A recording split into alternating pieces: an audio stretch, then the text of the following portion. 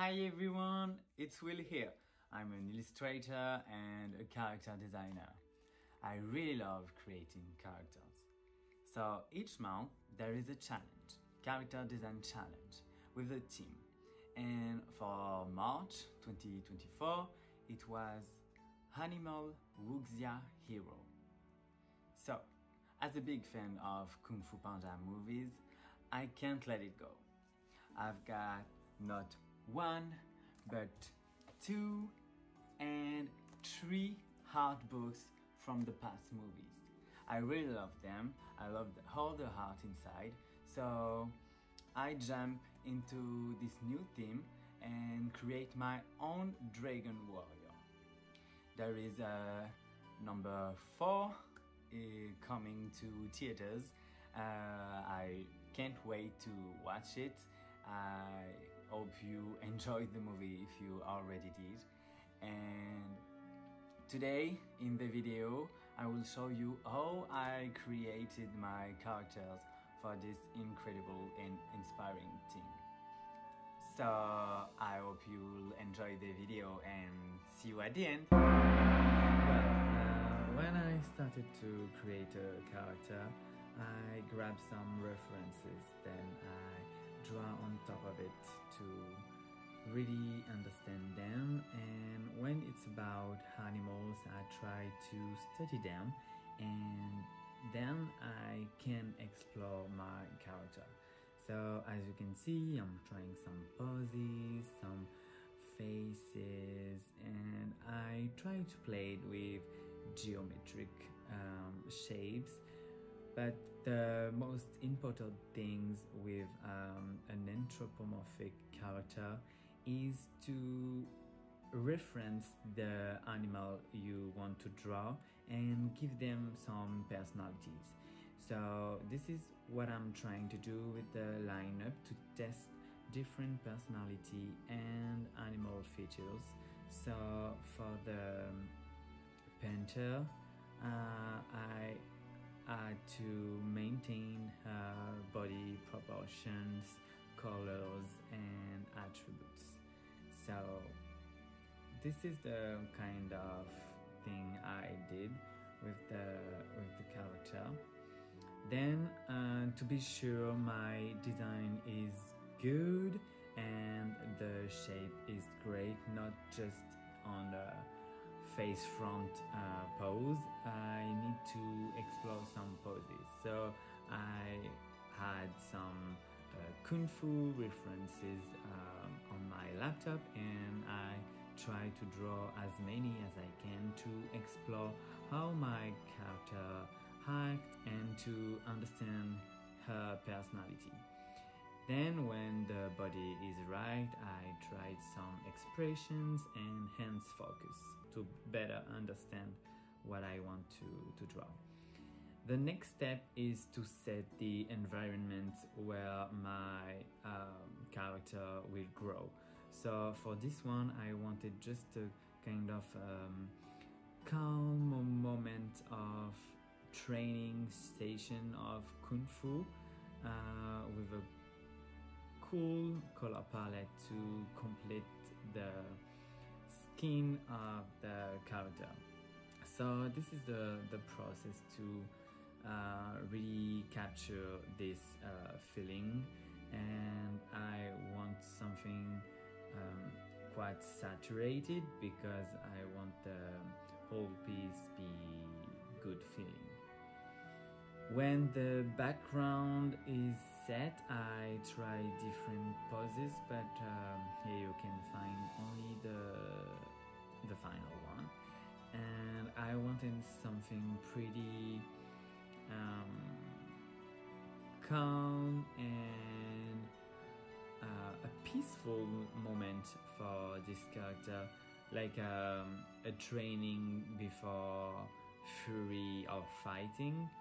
Um, so I wanted to really balance the shape of her body with this pretty long tail and her legs to really capture how the character can take his mind to, to be grounded. Well, when the character is okay, I refine the background sketches because I just uh, color dropped it. And then I rendered it element by element. I wanted something pretty minimal and simple because the main focus is the character for the challenge. So I didn't want to bring a lot of information uh, in the background, just quite a few to really understand where my character is evolving. I really had uh, a piece from um, Raymond Zibach uh, in mind for this one, um, kind of a concept art from Kung Fu Panda 2 and hold um, Chinese painting for, for the background with a kind of watercolor um, effect. Then, uh, when the background is done, I need to put my character in it. So I'm starting to blocking shapes, adding patterns and texture to to each materials and different colors. Um, with my animal choices, to better understand it, I needed to really um, capture her pattern. So I decided to uh, create a pattern for the clothes with the initial pattern of the skin of the real animal.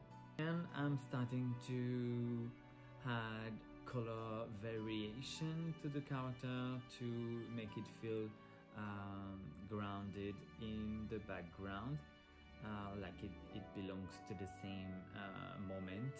So I decided where my lighting was and I started to add shadows ambient occlusion to uh, add um, kind of 3D effect following the um, creative direction of the 3D movies as DreamWorks like um, like if this character could uh, be taken from the movie and just existing here in my uh, minimalistic background.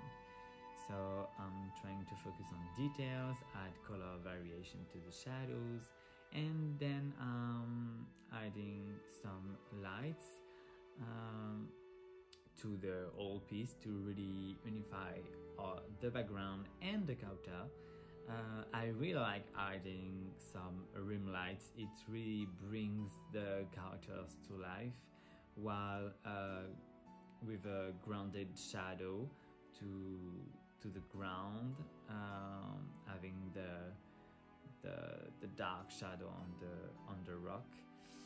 Then I'm tweaking some lights, and it's quite um, it's quite done. Doing some final touches, taking values and rearrange the, the waterfalls.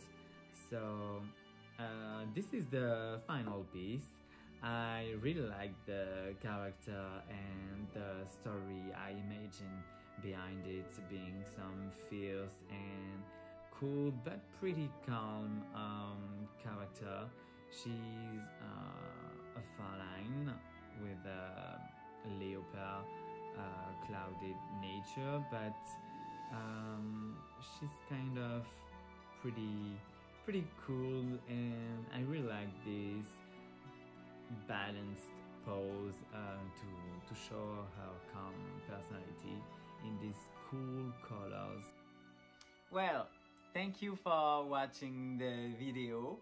I hope you really enjoy to see my process behind this character because I really enjoy creating it.